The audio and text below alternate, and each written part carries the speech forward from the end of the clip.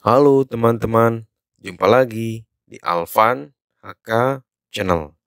Di video kali ini saya akan memberikan tutorial bagaimana cara membuka Word yang terkunci tidak bisa diedit. Bagi kalian yang belum tahu, simak video ini sampai selesai. Let's check it out.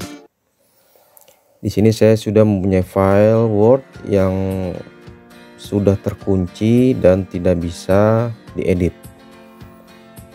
Jika kita akan menginputkan huruf, nah di situ akan muncul notifikasi file ini sudah tidak bisa diedit dan untuk membukanya kita harus masukkan password.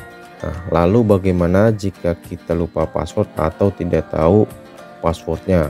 Di sini saya akan memberikan tutorialnya bagaimana cara membukanya. Kalian pilih file, lalu kalian save as kalian pilih web page atau di situ extensionnya HTM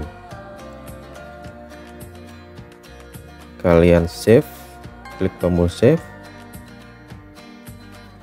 Dalam tahap ini kita belum bisa mengeditnya kalian close.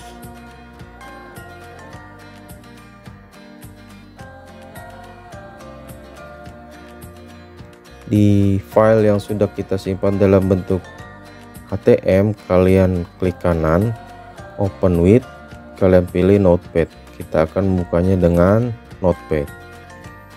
Di sini kalian Ctrl F lalu kalian ketikkan password.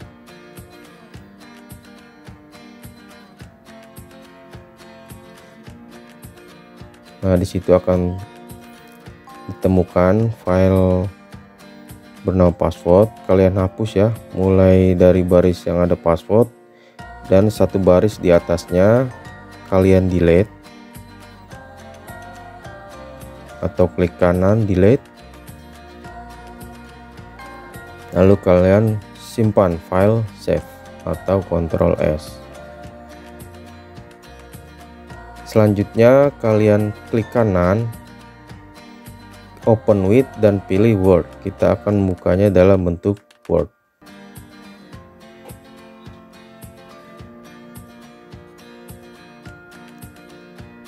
Nah di sini kalian pilih file lalu save as.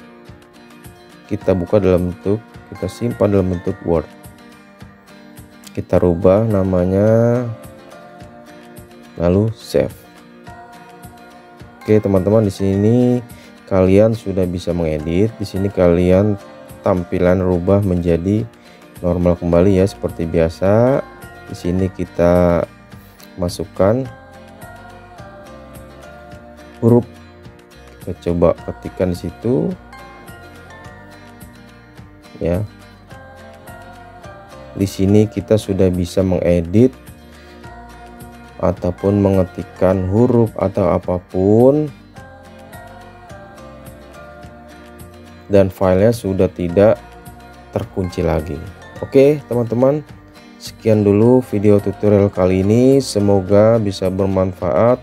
Sampai jumpa di video tutorial berikutnya. See you next time